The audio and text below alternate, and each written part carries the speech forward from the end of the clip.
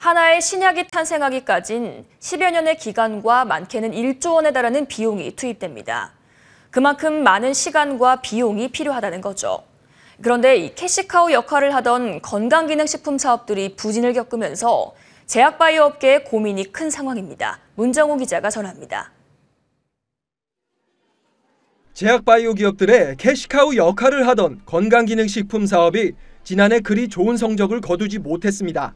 종근당 건강은 지난해 5,451억 원의 매출을 올렸는데 전년보다 11% 정도 줄었습니다.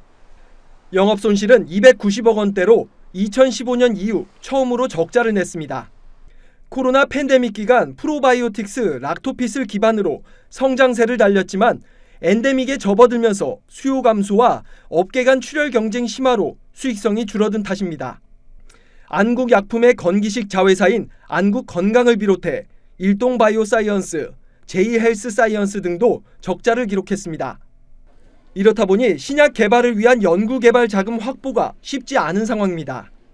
최근 제약 바이오 기업들은 연구 개발 자금 확보를 위해 건기식 외에 동물의약품, 검체 검사, 물류 사업 등 다양한 cash cow 확보에 나서고 있습니다. 의약품을 위탁 생산하는 CMO 사업도 차세대 cash cow로 꼽힙니다.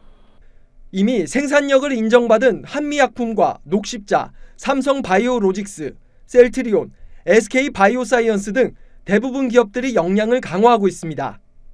하지만 한 번에 큰 자금이 필요한 신약 개발을 위해선 정부 지원이 어느 때보다 절실하다는 게 전문가들의 견해입니다.